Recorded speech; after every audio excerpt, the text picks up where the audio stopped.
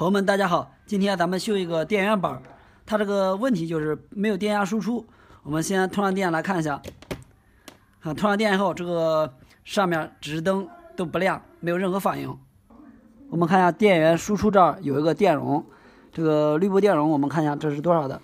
这是十六伏二百二十微发的。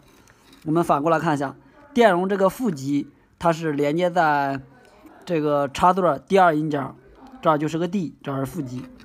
然后我们看一下这个正极，它是连接在第一个角。现在我们再给它通上电，用腕表来测量一下，看它这个上面有没有电压。我们还是先通上电，然后测量一下这两个角。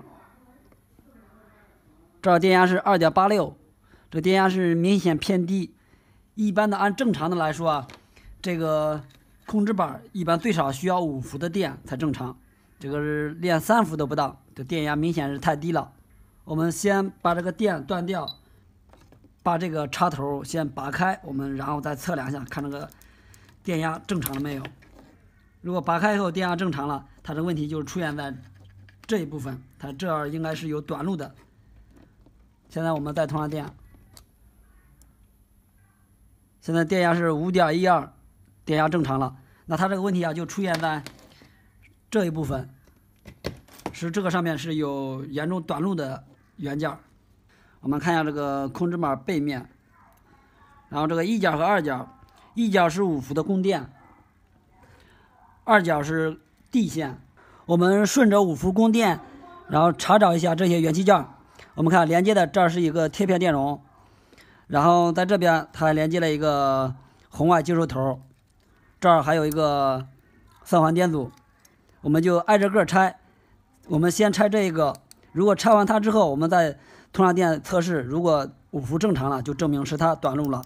现在我把该拆的元件都拆下来了，看一下这个拆下来了，然后这个电阻也断开一个引脚，这个电阻也断开一个引脚，这个贴片电容。我也把它拆下来了，不过现在还是通上电以后啊，还是有短路的地方。看通上电以后还是不行，现在我就怀疑啊，应该是这个芯片内部短路了。现在我把这个芯片给它摘下来，再试一下。我们再给它通上电来测量一下，看这个五伏正常了没有？我们看这个电压正常了，现在是五点一一伏。它的问题啊，就是这个芯片内部短路引起的。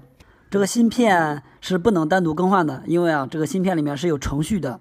今天这个视频就是给大家分享一下，就是当我们在维修开关电源的时候，如果这个电压输出偏低，这是最简单好用的方法。